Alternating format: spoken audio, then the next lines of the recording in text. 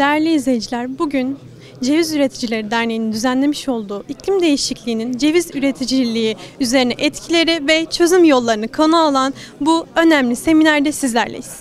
Mert Bey öncelikle hoş geldiniz. Nasılsınız? Çok teşekkürler, çok iyi. Sağ olun. Sizler? Bizler deyiz. Teşekkür ederiz. Bu önemli etkinlikte e, ana sponsorsunuz sizler. E, ceviz üretimi açısından e, bu semineri nasıl değerlendiriyorsunuz? Ee, öncelikle ana sponsoruz. Ceviz Üreticileri Derneği bizim çok önemsediğimiz bir dernek. Ee, ceviz sektörüne e, yapmak istedikleri vizyonu bizim için çok kıymetli buluyor.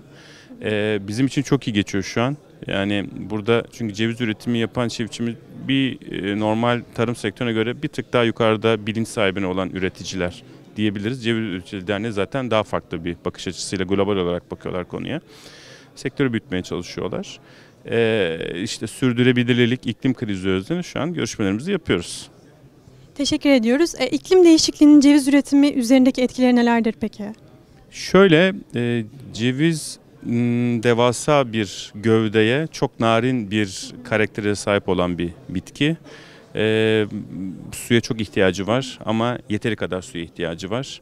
Bu bilinci esasen öğrenmek gerekiyor. Çünkü iklim kriziyle beraber e, bitkileri iyi dinlememiz gerekiyor. Biz bu çiftçilerimize bunu anlatmaya çalışıyoruz. Sensör teknolojileriyle, yapay zeka teknolojileriyle.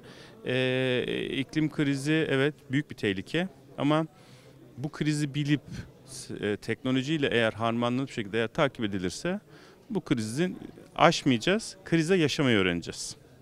Değerli bilgilendirmeleriniz için çok teşekkür ediyoruz. Sizlere çalışmalarınızda başarılar diliyoruz.